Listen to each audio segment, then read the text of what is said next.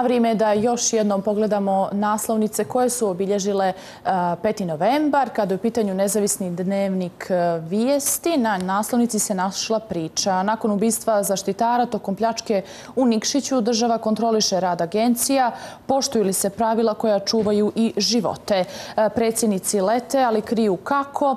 Bečić putuje redovnom linijom, tajne je čime Krivokapić išao u Srbiju iz kabineta Đukanovića Ćute. Evropa sad, ministri garantuju da će biti bolje. E, u planu električna vozila, RTCG duguje, a limuzine trguje. Kada je u pitanju Dnevna novina Dan. Na njihovoj naslovnici možemo pročitati priču. Epidemija svakodnevno uzima žrtve. Novi rast broja zaraženih koronom u Crnoj Gori alarmantan. U Podgorici inficirano svako treće testirano dijete. U COVID centru za odrasle na starom aerodromu građani sa simptomima i temperaturom u redovima čekuju na pregled i testiranje. Institut za javno zdravlje je juče registrovao 727 novopozitivnih u Crnoj Gori. Vlada usvojila program Evropa sad, za čije će stupanje na snagu biti potrebna podrška Skupštine. Povećavaju plate, smanjuju doprinose, dižu poreze i akcize. Hajrudin Memović pred specijalnim tužiocem priznao članstvo u kriminalnoj organizaciji i dobio status svjedoka saradnika hapšenjem spriječene likvidacije trojice Cetinjana. ETCG će ostati jedina crnogorska televizija. Sve je manje TV kuća sa nacionalnom frekvencijom, sagovornici dana upozoravaju. Pokrenut postupak za izradu izmjena dupa kod hrama u Podgorici crtaju kružni tok. Naslovnica pobjede e, 5. Novembra donosi ove priče. Ministar financija Milojko Spajić predstavio porezku reformu za koju tvrdi da je dugoročno održiva plate veće, porezi manji, dogodine u minusu 35 miliona. Na pomulu nova koalicija u Budvi koja bi zastupala razrješenje čelnih ljudi opštine, demokrate, SMP, Prava i URA prave save za smjenu Carevića, ali i Radovića. Premijerovi Beogradski gafovi Krivokapić za pola sata promijenio mišljenje o otvorenom Balkanu. E, ispred Skupštine održan građanski protest zbog ušenja novinarskih i pogoršavanje građanskih sloboda i narušavanja e, društvenog mira. Novinare smjenjuju poslušnicima vjernim kursu srpskog sveta i SPC-a. Novembar već odnije 18 života, alarmantno preminulo još šest osoba, otkriveno 727 novih slučajeva e, infekcije koronavirusom. I za kraj, naslovna E, strana Crnogorskog nezavisnog nedjeljnika e, Monitor, koji je danas e, u prodaji. Rođak sa sela u središtu srpskog sveta. Neka si došao što ne reče da te sretnemo. Dakle, priča o posjeti premijeru Dakle, posjeta Srbiji sa nama ovog jutra komentariše sve ove naslove, naš kolega Predrag Nikolić iz Nezavisnog nedjeljnika Monitor. Dobro jutro vam prije svega želim. Dobro jutro. Od čega bi vi krenuli ovog jutra? Šta vam onako, onako ovih dana, zapravo posljednjih svi govore o, o posjeti premijerovoj Srbiji. Ona se našla i na naslovnici uh, nezavnisnog nedjeljnika Monitor. Kolega Zoran Radulović je pisao. Jeste, jeste. To je nešto aktuelno, ali evo, već godinu i pol ovo što je aktuelno i kona, uh, čini mi se da zanemarujemo ovu pandemiju na naslovnici dane. To imamo stvarno te alarmantne podatke već ovaj drugi ili treći dan da imamo 1% stanovništa Crne Gore, čak juče i preko 700 i nešto u jednom danu zaraženih. Totalno smo se opuštili što se tiče koronavirusa. Vidimo neke dešave se i tragedije. Lične preminula je djevojčica od 16 godina. Jednostavno kao da to ne postoji, tako se ponašamo. Danas očekuju nove mjere u 10 časova. Pa, Šta vi očekujete? Ništa, kao i do sad. Znači, e, čini mi se da se diglo, da su se digle ruke od tih mjera i čak i forsiranja. Javno se više toliko i ne priča, barem da se analiziraju i katastrofalni podaci i da se svi skupa ozbiljimo. Eto, vidim, nema više ni te neke promocije vakcinacije. Zanimljivo je sad da je ima jedan naslova da predsjednici putuju, ali kriju. Mhm. Zanimljivo je kako se... U nezavisnom dnevniku vijesti. Da, kako se premijer vratio, kako je uspio da uđe u Crnu Goru, pošto nije vakcinisan ni s jednom dozom, a znamo da je uslov za povratak u Crnu Goru da morate da imate onaj papir, ali eto, nastavlja se ta, ta tradicija da političari mogu biti iznad zakona. Generalno situacija u Evropi je loša kada je u pitanju epidemiološka zapravo situacija. A jeste u Evropi, ali u svijetu nije. U svijetu pada broj zaraženih, međutim u Evropi ta delta soj, za razliku od zemalja koje su postigli veliki nivo vakcinisanih i one su malo odahnule, ali mi smo još daleko od toga. Šta mislite, hoće li se postrožiti mjere sada u susret novogodišnjim i božićnim praznicima? Ne vjerujem. Ne vjerujem. Znači, to je ovaj, posljednjih mjeseci to i neka strategija da se ide, da se ide u stvari na popuštenju mjera i da se jednostavno ide više na tu ličnu odgovornost koja je dokazano ovdje je malo. Mhm. Evropa sad, eh, projekat koji je usvojen na vladi, opozicija kaže da je to u pitanju bajka. Dakle, ministri garantuju da će biti bolje i na naslovnici vijesti i uh, u pobjedi možemo čitati o toj temi. Pa ne kaže samo opozicija. Svi kažu da je to bajka. Čak ja sam slušao za njih dana izjave vladajuće većine, oni čak veću skepsu ovaj, izražavaju, čak se i na neki način rugaju u tome projektu. Evo, znači, to je enigma da sačekamo ta dva mjeseca. Ako išta bude od toga, čini mi se da je prije svega to politički neodrživo.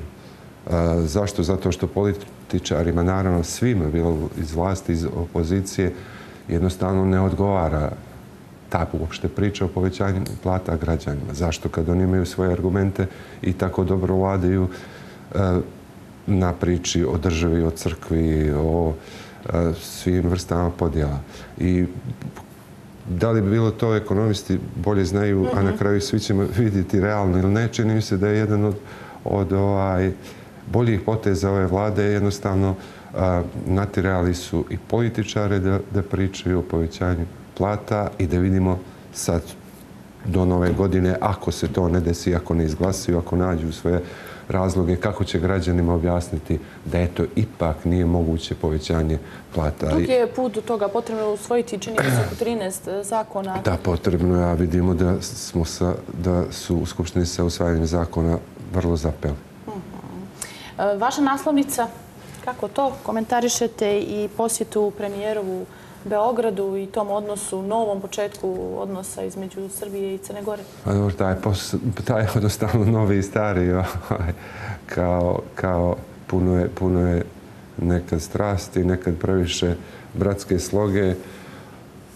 Evo, počelo je sve sa tim diplomatskim skandalom farmerice i neformalni doček posle se to. Mene se čini da je značajno ovaj, što je premijer Krvjokapić nema baš puno pravih poteza, ali je vrlo dobro što je otišao i postavio vijenac na spomen ploči eh, Zorana Đinđića. Vidim danas zahvaljujemo iz fondacije te eh, i to je neki jasan znak, pošto se Đinđić u Srbiji više ne pominje.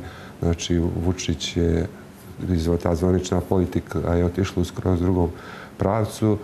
Tako da, da to me iznenadilo prijatno. Mm A ovo drugo, ništa novo. Nisu neka značajna pitanja pokrenuta? Ne vidjeli smo da premijerka Srbiji ne zna što je sa slučajem Marović. Eto, zakazali su tu sjednicu dvije vlade da, da se intenzivira ta ekonomska saradnja. U suštini ništa. Čisto jedan početak a, uspostavljanja i normalizacije tih, tih ovaj, dobrih odnosa. Da, možda je Vučić malo zaboravio na to da je Krivokapić odmah pošto je stupio na funkciju rekao i pomenuo poslove premijera Vučića i gospodina Đuko, Đukanovića. Tako da neđe tu i možda kvaka tih svih zaoštrenih odnosa, pošto čini mi se da je predsjednik Srbije u mnogo boljim odnosima sa predsjednikom Crne Gore nego sa svima iz vladajuće, vladajućih stranaka u Crne Gore. I vaša priča se našla na naslovnici monitora Partijska pamet u novim dresovima od nafte i vode do lokomotive. Čemu se radi? Pa eto i prošle nedelje smo imali tu informaciju da gospodin Rađenović u upravnom odboru morskog dobra prima mjesečno 4630 eura. Posle on to demantovao, rekao je da je to plata za dva mjeseca, u stvari 2300 za jedan mjesec, pa da će oni to disprave i naravno sve je to tekovina bivše vlasti, to su oni. I neđe je to suštine priče, znači te privilegije koje je bivša vlast svojim partijskim činovnicima uveliko davala, nisu ukinute. Onaj. Nisu ukinute ni, ni te enormne ovaj, zarade za članstvo u upravnim odborima koje obično ne, nosi, ne donosi puno posla, a sad kako je nova garnitura stupila, vidjeli smo oni zapošljavaju od pripravnika do penzionera e, ljude koji baš nemaju puno veze sa tim poslom kojim bi trebali da se bave. E, tako da imamo samo nastavak te jedne priče koju, koju gledamo i koja nas udara po džrepu građana već 30 godina. Ne samo te privilegije, znamo koliko je priče bilo oko službenih automobila, pa simbolički dolazak ovaj, a, taksijem na prvi dan na posao. Nešto nije smanjen broj službenih automobila, ni ostale beneficije. Tako da, eto, navikavamo se samo na nastavak jedne, jedne stare prakse. Pa evo, u prilog tome možda ide i ovaj naslov predsjednici lete, ali kriju kako? Vladin avion navodno još nije u funkciji. Generalni sekretarijat vlade ne odgovara čime je Krivokapić putovao u Srbiju i Skupštine su kazali da je Bečić putovao redovnom linijom, dok iz kabineta predsjednika države ignorišu pitanja novinara. Pa sve češće se to dešava. Znači, ne i pored sve te lijepe priče, mi jednostavno nemamo otklon od, od prakse bivše vlasti. Neđe mi se čini da posle godinu dana nova vlada i vlasti vidjela da je mnogo lakše i lagodnije tako ne odgovarati novinarima, jednostavno ne odgovarati javnosti niti građanima. Ja s druge strane imati tu lijepu priču kako su oni reformatori, kako će donijeti promjene. Za sada od toga nema, nema ovaj, možda imaju dobru namjeru, ali u praksi se to ne dešava. Mhm. Naslov u, zapravo u danu, dnevnoj novini dan, ETCG će ostati jedina crnogorska televizija. Situacija je takva trenutno da smo blizu toga da ostanemo e, sa RTCG kao, jedina crnogorska, kao jedinom crnogorskom televizijom i to samo zato što je ona finansirana novcem građana. Ocijenio je Ranko e, Vujović, sve je manje nacionalnih TV kuća u Crnoj Gori. Koliko je to alarmantan podatak pa i to za našu branšu? Mm, I za branšu i, i uopšte za, za državu. Znači, neđe je porazno da posle 30 godina znamo kako su se stvarali nezavisni mediji tokom 90-ih.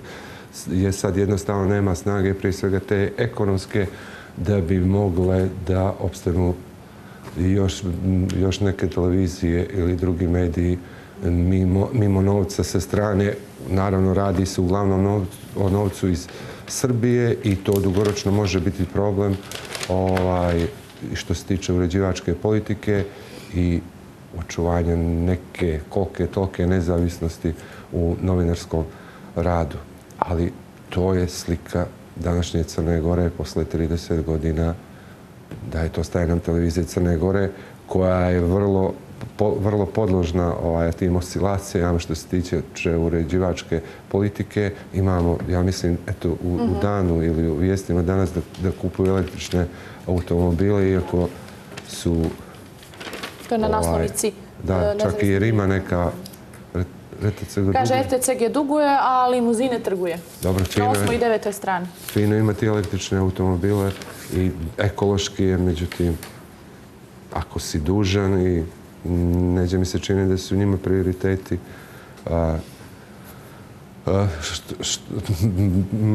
malo je žešći zaokret uređivačke politike. Automobile bi koristili isključivo, izvinjam se što vas prekidam, u gradskoj vožnji kako bismo postigli uštedu, a ostala dizel vozila šaljemo na dalje destinacije.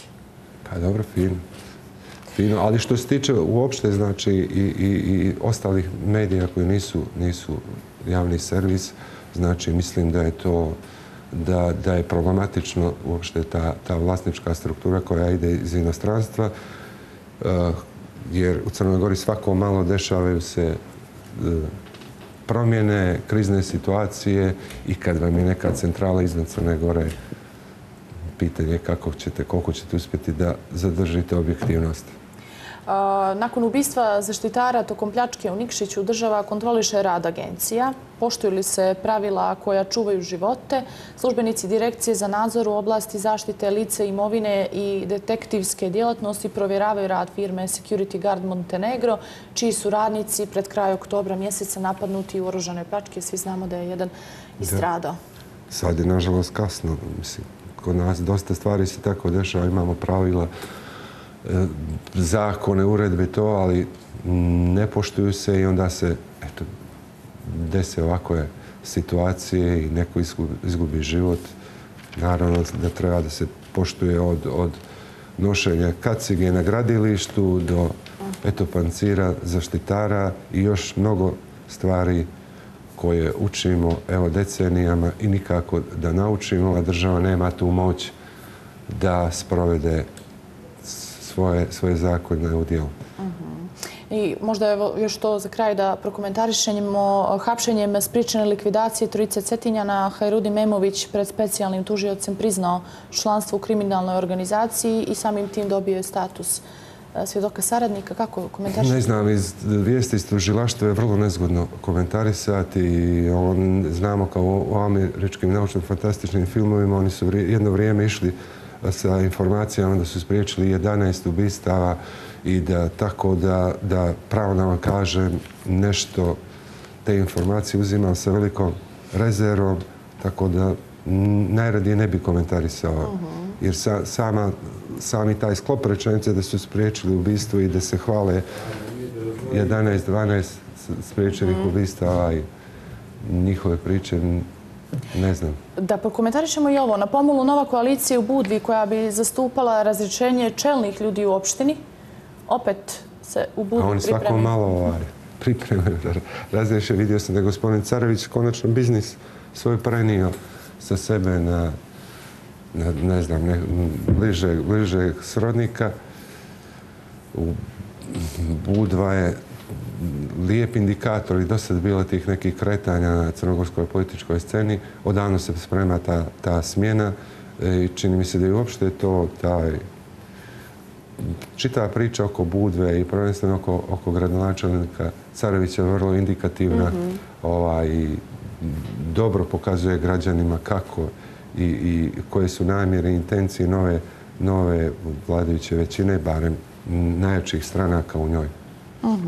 Na naslovnici monitora e, našla se i priča najavljena je parlamentarna istraga o Možuri. Postoji li veza sa ubistvom malteške e, novinarke? Eto, to je priča kada odavno je aktuelna.